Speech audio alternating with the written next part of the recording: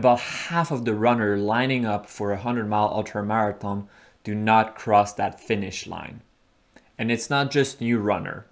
Experienced runner also face the dreaded DNF, did not finish. That's one of the biggest fear for ultra runner because despite all of the training, all of the hard work for many, many months, this can be the outcome of your race. We're pushing our limits, and when you push your limits, that means that sometime you will fall short, sometimes things will not go well, and sometimes you will fail to meet these ambitious goals. So today I want to provide you my top tips to avoid the DNF.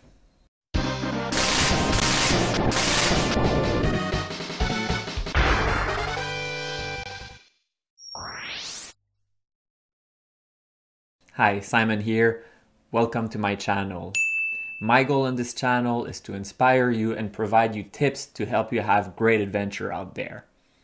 I'm an experienced ultra runner with 4,300 miler under my belt and no DNF. So today we're talking about that. We're talking about DNF and how to avoid them. And the first thing I really want to emphasize is that DNFs are part of ultra running. If you try anything ambitious in life, if you're really pushing your limits, you will fail to meet these goals sometimes, and you shouldn't feel bad about it. That's part of running. And the important thing is how to deal with DNF. Yes, it's okay to acknowledge it. You failed. This is not what you wanted to do. You want to see that finish line. It's okay to feel bad, but then you need to look back, learn, and grow from that so that next time you will go further and eventually you will succeed. And it's a fine balance between accepting failure, feeling bad, but at the same time not hurting your mind game because ultra running is a lot about your mental toughness. And if you start doubting yourself, you will always struggle in these races because it's always a struggle at some point and you need the confidence that you can do it. And you shouldn't let a DNF cast self-doubt on yourself. You're strong enough to do that. Maybe it didn't happen that day and you will find a reason why.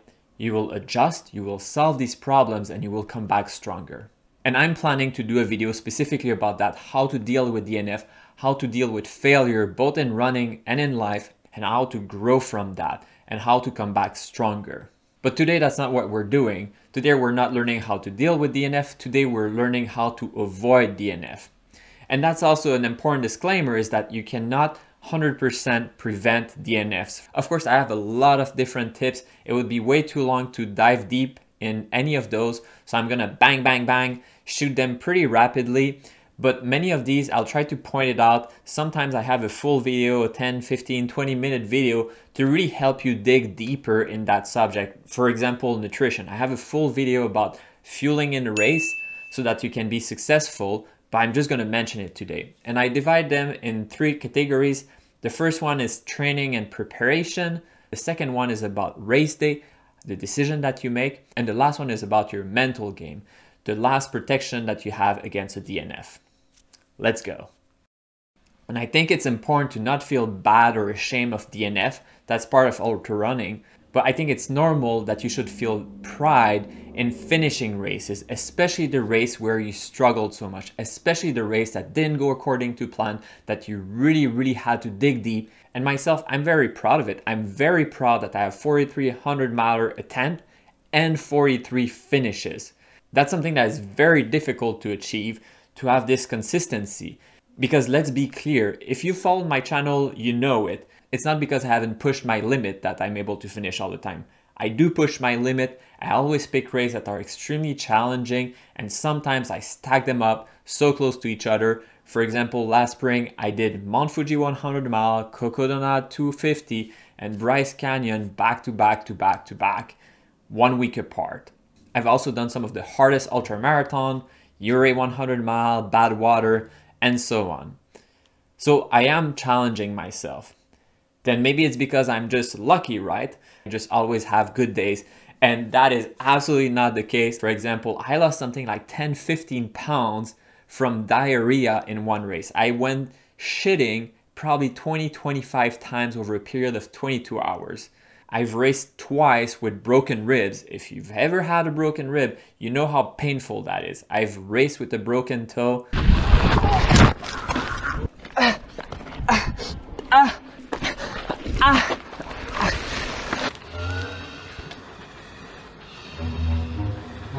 Doing down there?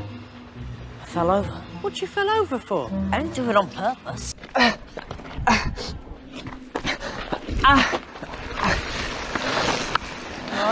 Yeah.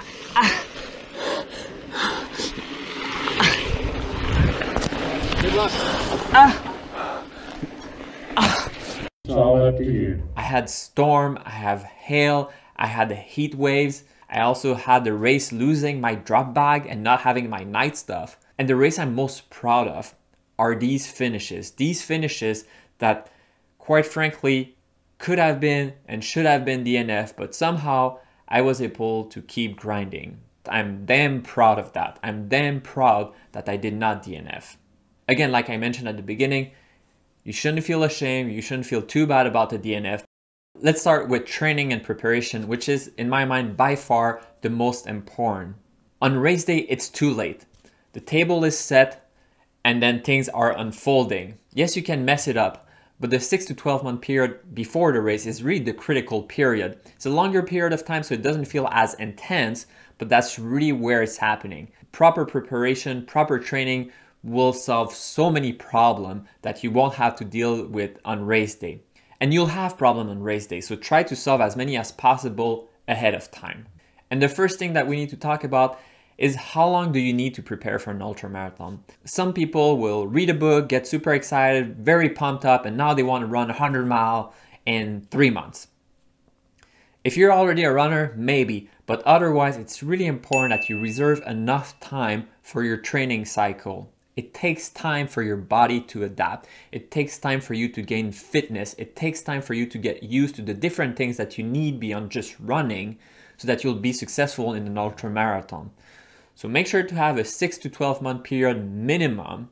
And these 6 to 12 months, you should organize them. You should plan. You should have a training plan as soon as possible and commit to it. And if you need help building a training plan, here's a video.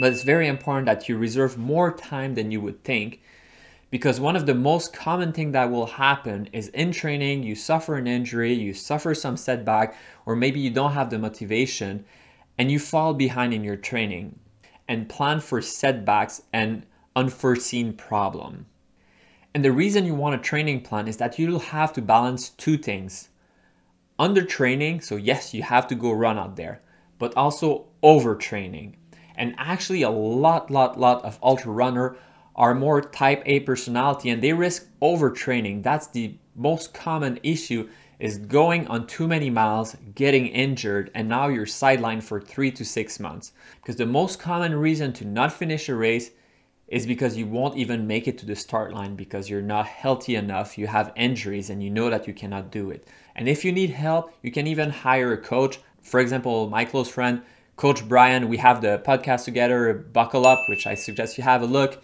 He's a coach, he's taking athlete. If you need someone, especially for races at altitude like Leadville, I suggest you have a look at his website. But you can yourself also create a training plan that is smart and that is including, of course, running, but rest days, strength training, mobility training, and preparing for various problems that you will face during a race. Because that's also an important detail here is that know what's the race you're signing up for and what are the challenges. If you race a race like Leadville, altitude will be a problem. You gotta prepare for that. If you race a race like Javelina 100 mile, heat will be a problem. You gotta you gotta include heat training or heat adaptation session. Something else that you should try to do as early as possible is finding the right gear for you, finding good gear. If you're curious about the gear I'm using myself, I have some link in the description below as to what I'm using and what I think is really high quality. But even a high quality product might not be what is good for you. Shoes that fit for me might not fit for you, and you gotta practice with that. It actually can take several months to find the right shoe that you can race with and not have blisters. Because it's so easy to use a running shoe, run five mile, and not have blisters. But when you're pushing 30 mile, 50 mile, 100 mile, that's where the blisters happen. And importantly, train with your gear, practice with your gear. Of course, when you go on training run, it's a little different. But for example, poles, don't wait on race day to use them for the first time. Train with them, use them. Also get used to your running vest. Where are you gonna put your poles when you don't need them during the race? Do that in training so that on race day, it's seamless. On race day, you don't need to think about these things. You can focus on your race, not lose any time. And any problems with gear you will have during your training, not on race day. Race day is not the time. And the last piece is know the race that you're gonna do. Study it as much as possible. Go on YouTube, watch video about this course so that you know the different segment. You know the aid station, you know the distance, you know the challenges, and that snippet of information, that little tip that you can hear in a video sometimes. Maybe the full video is not helpful, but there's one or two things that you're learning that's gonna help you finish. Because at some point, we're all experienced runner, and it's the detail, it's the little extra that you can do to prevent a DNF that will help you. Now race day is here. You're excited, you're nervous. There's different ways you can feel. You can have a look here. But hopefully you're prepared. Hopefully you listen to the first half of this video and you've crossed your T's, you've dotted your I's, and now you're ready to rock and roll. Still, you can make mistakes today that will ruin everything. And I want to give you some tips to avoid these mistakes. The first one are pretty obvious, but put yourself a reminder because this is so important that you're not going to do it. And oh, geez. Oh, geez, Rick. Oh, geez, Dad. Oh, geez. Oh. You gotta eat. You gotta take calories. You're gonna burn so much energy. You cannot do it if you don't eat properly. So before the race, of course, you should have had planned your fueling strategy and practice and training, but on race day, don't forget to eat. Start early, eat plenty, eat often, and eat food that your stomach can tolerate. Similarly, you gotta drink and you gotta think about salt, especially if you're at altitude or if it's a hot race, you get dehydrated very quickly and you gotta fight that. You gotta not forget to do these things. When it comes to pace or race strategy, Look, if your name is Kilian, Jim, or Courtney, don't listen to my advice. Otherwise, start slow, slower than you think. Run with other people that seem to be at your level of fitness, even potentially with people that seem to be a little slower than you. You can always accelerate towards the end if you have the energy. If you start too slow, uh, you can sprint at the end, that's fine. But if you start too fast, you're gonna be my friend. You're gonna be so hard and you're gonna have a terrible day. Don't do it. Start slow and pick up the pace if you feel so good, but in all likelihood, you won't feel that good. And the reaction that people have to that sometimes is, well, there are cutoff. I gotta be fast enough for cutoff. And that's that's true.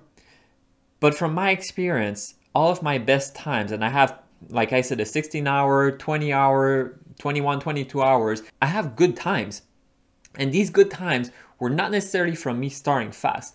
These good times were from being steady. And being consistent means having a steady pace, not starting out too fast, being reasonable about it. You gotta keep moving and you gotta not lose time. You gotta save time where you can save time. Aid station is an obvious one. It's great to see your crew, it's great to hang out. I play with dogs all the time because I know I have time, but you have to keep in mind the cutoff that you might or might not be facing. You have to be aware of these cutoff. If you have plenty of time, sure, do what you want. If you're tight with cutoff, you gotta be focused right here. Your aid station is an easy time where you can save so much time. And the things to do to shave off time, I don't have a video about it, but I'll do it someday. First, come in the aid station already knowing what you wanna do and have a routine my routine is to start with taking everything that I need for my next segment. For example, I'll fill my bottle, take some food to travel, empty my trash. If it's nighttime, I'll take my headlamp, I'll take some clothing. And now I think about taking care of myself. Do I need to drink right now? I should probably drink right now. Do I need to eat something? It's good to always eat something. And if possible, try to avoid sitting down. If we sit down, that's easily a 5, 10, 15 minute that you're throwing down the drain. Sometimes you will need it, so sometimes do it. That's why we have chair, and you will see me in races. I do sit down, I do sleep sometimes, but be aware of the time that you're investing in that. And it can be a good investment to take care of your body like that. Another big one, a big transition that you need to make between racing a half marathon and marathon and now you're racing ultra marathon is that now this is not a short term thing. Now you cannot just deny problem and finish. You got to take care of problems when they're small. If you feel a heat spot, chafing, or blisters, take care of it now.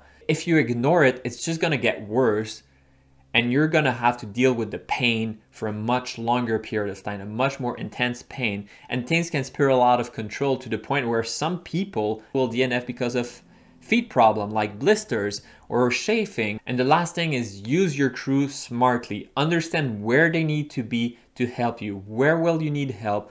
Where do you need a pacer? They are there to support you. That's their role today. Before diving any deeper, what do you think? Do you have any tips to provide others? Please let us know in the comments below. If you appreciate this video, please leave a thumbs up. And the last piece is about your mental game. And I think that's something that I'm very strong at. And I have a couple of videos on helping you become stronger mentally and be able to push your limit. Because in an ultra marathon, you will suffer. The mental game is basically your last line of defense. When you're bleeding out of your ass, when it's painful, when every step is agony, now it's in your head. Do you want to finish or not? And it would be great to do an ultra marathon where you don't even need to dig deep. You just you just breeze through it. You're feeling good. But I can tell you right now, you're going to struggle. You're going to be in pain. Remember, we're challenging ourselves. We're pushing our limits. And when we're pushing our limits, it's very uncomfortable, it can be painful, and your brain will tell you, why the f am I doing that right now? Let's just let's just let's just sleep, you know? Let's just sleep. You gotta have a strong mental game. And that takes years and years of training to be able to have that, to be able to keep going no matter what. And just a few pointers one is that you have to have a strong why. You have to know why you're doing that because you're gonna ask yourself, why do I keep pushing through that? When you're at the aid station, you're sitting down, you're feeling comfortable. Why would I go out right now?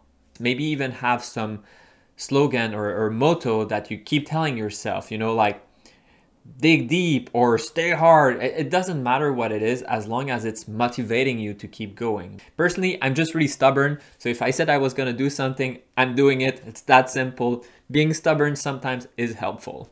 And closely associated to the why is picking the right race for you.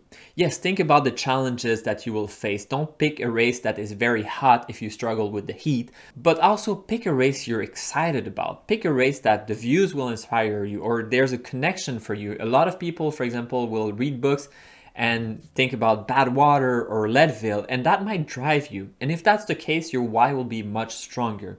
And on race day, there's really two tactics for the mental game. One is you can lean into it kind of in the pain cave and being, for me, I feel more underwater and the pain, I kind of know it's there, but it's not as sharp. But the other option is distraction.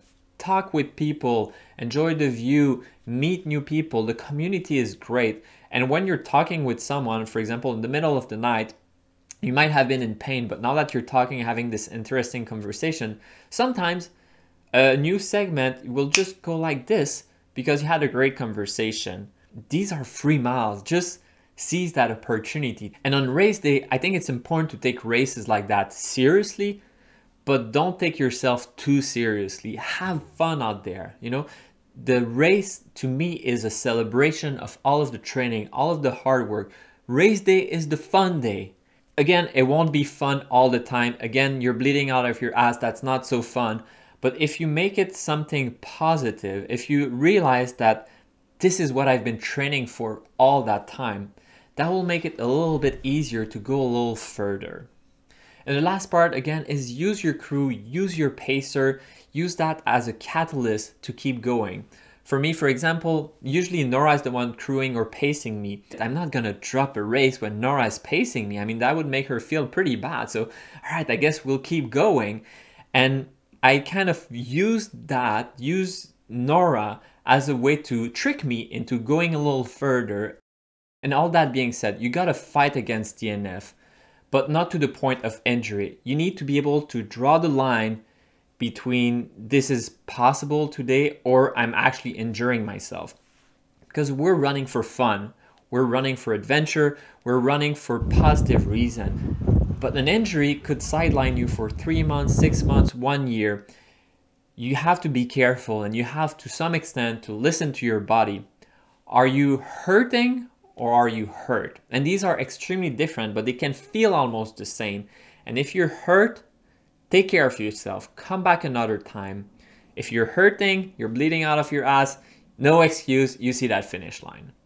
And that's it. For a 300 miler, no DNF, these are my tips to avoid DNF. But big reminder, it's impossible to totally avoid the risk of a DNF. Every time I line up myself for a race, even if it's a race I've done before, even if it's a race that is easy, I never know. I never know if I'm gonna finish. And the best way to prevent these DNF is through training and preparation. But race day, you can mess up everything by stupid, stupid, stupid mistake, trying out new gear, not taking care of yourself, ignoring a blisters, and now you're facing a huge problem. But at least you have your last line of defense. That's where you make your stand. That's where you say, no, I'm not dropping. I'm not dropping, I'm finishing. And that's your mental game. And you'll need training for that to have a strong mental game that no matter what, you are committed to seeing that finish line. And don't feel bad if you DNF. It happens. The most important thing with DNF is to get back up. It's not about how many times you fall, it's about getting back up, getting stronger, and coming back at it. You didn't succeed this year, but you will next year if you learn from your experience, if you learn from your mistake. As the saying goes, the wise man learns from his mistakes. But the wisest man learns from someone else's mistakes. So hopefully these tips will help you see that finish line, avoid the DNF, and achieve all of your goals. But what do you think? What are tips that you would give to prevent DNF? Please let us know in the comments below. I'll make a video about how to deal with DNF, how to learn from failure so that you can come back stronger. But until then, please leave a thumbs up, comment below, share with your friends, and thanks for watching.